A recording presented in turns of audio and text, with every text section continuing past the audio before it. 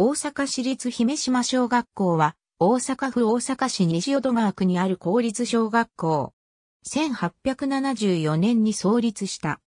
西淀川区内の小学校では最も古い時期に創立した学校の一つである。当校から大阪市立貢献小学校、大阪市立姫里小学校の2校が分離している。明治時代初期の学生発布に伴い、当時の西成郡比江島村では1874年、西成郡第5区第3番小学校、第4番小学校の2校が設置された。第3番小学校は、自運寺、第4番小学校は変満寺にそれぞれ設置された。その後両校は合併し、1893年には西成郡比江島尋常小学校と称した。高等科については当時、比江島、歌島、先々、川北の4村で学校組合を設置し、1898年4月には、西成郡第二高等小学校を、比江島村に開設した。その後1919年には高等科を併設し、西成郡比江島尋常高等小学校と解消した。1925年には、比江島村が大阪市に編入され、大阪市姫島尋常高等小学校へ改称している。比江島村は明治時代中期の新淀川開削により村域が南部に分断されていた。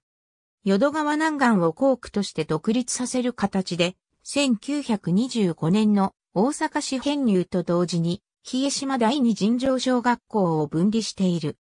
1934年9月21日の室戸台風では校舎が半壊し、校内で児童、教職員合わせて死者13人と重軽傷者200人以上を出す大きな被害を受けた。死傷者数では西淀川区の小学校としては最悪の被害となった。台風で被災した校舎は鉄筋コンクリート校舎として1937年に再建された。国民学校令の実施により1941年には大阪市姫島国民学校へ改称した。地域の宅地化や隣接する野里地区にまたがる地域が姫の里として区画整理が行われたことなどで児童数が増加し、1935年には姫の里に分校を設置した。分校は1942年に姫里国民学校として独立し、姫島、野里の両校から児童を編入して開校している。太平洋戦争の戦局悪化により、1944年以降、国民学校初等科の児童に対して学童集団疎開が実施されることになった。集団疎開は行政区ごとに疎開先が指定され、西淀川区の国民学校では、徳島県、香川県方面への疎開が指定された。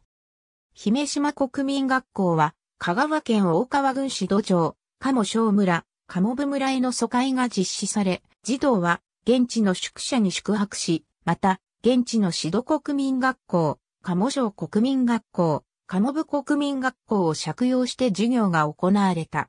学童疎開は終戦後の1945年10月まで続いた。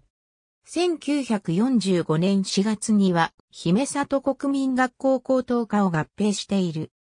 また、終戦直後の1945年10月には、校内に旧制姫島商工学校、姫島実家女学校を併設した。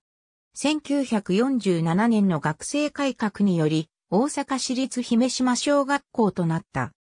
また学生改革の際、校内で新生大阪市立西淀川第二中学校が開校し、旧制姫島国民学校高等科、姫島商工学校、姫島実家女学校の生徒は、西淀川第二中学校に移行している。西淀中学校は1949年6月に、現在地に独立校舎を建てて移転している。ありがとうございます。